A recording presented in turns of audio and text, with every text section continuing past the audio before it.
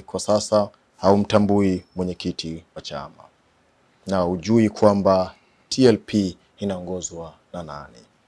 E, nimekutajia kuna viongozi Mm. kuna Hao ndio viongozi wakuu. kuna limo e, ni viongozi waandamizi wa chama Mm. Mm. Na ki, mfano mfano Chadema mm. inaongozwa na Freeman Mbowe eh, kama mwenyekiti na tu, kuna makamu mwenyekiti Tundu Lissu. Eh, CUF yupo um, Profesa Lipumba mm. ACT vile vile wapo viongozi. Ninyi TLP kiongozi wenu mkuu ni nani?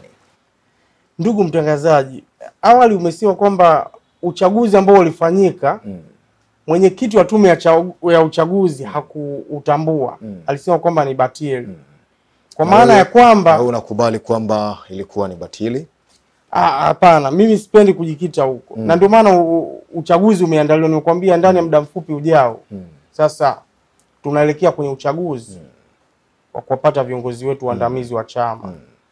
e, kwa maana nyingine ni kwamba e, tusubiri, tuvumilie ndani ya kabla mwezi huu haujaisha tutakuwa na uchaguzi. Kuna baadhi ya watu ambao wanasema kuna vyama vingine vya upinzani ambavyo ni vya kwenye flash, yawezekana hata chama chako ni miongoni mwao. Unasemaje?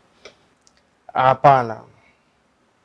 E, mi niseme kwamba TLP kwa sasa ni chama chenye nguvu Hmm. na tumekuja na hoja zetu sisi ni hoja nz- nzito ambazo e, zitaweza kuwasaidia wananchi. E, nipende tu kusema kwamba chama chetu Hmm. ni tofauti na watu walivyokuwa wanaki, wanakifikiria kwamba huenda ni kikundi. Hapana, hichi ni chama kama kama ilivyokuwepo CCM hmm. na tunaomba kwamba tutakapoenda kwenye uchaguzi wa serikali hmm. za mitaa Watanzania wafahamu kwamba watakapochagua TLP ni chama chenye hmm. sera nzuri, lakini pia hmm. ilani yetu e, ime, ime, imebeba kila nyanja hmm. e, ambayo ni muhimu zaidi katika kumkomboa Mtanzania.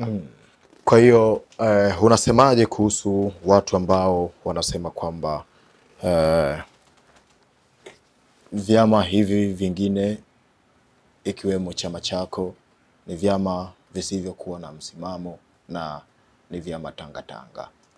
That's a wrong perception. Mm, what do you Ni mtazamo tu ambao uliku, ulikuwepo lakini sasa niwaambie sasa, tunaomba watuamini Watanzania, watu wa umma wa Tanzania utuamini.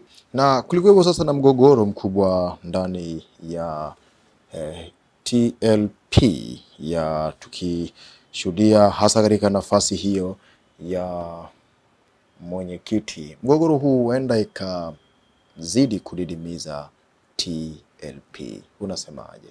Hapana, nafikiri sehemu yoyote unapoona kwamba ina mgogoro, ina maana kuna demokrasia yaani watu wanaruhusiwa kutoa maoni yao. hmm. Ndio maana nyinyi mnaitafsiri kama mgogoro, hmm. lakini hapana, si mgogoro. hmm. Demokrasia ipo ndani ya TLP. hmm. Watu wanaruhusiwa kutoa maoni hmm. e, watu hawapingwi, hawafinywi. Hakuna uhuru wa kutoa ma, ma, ma, e, kujieleza upo.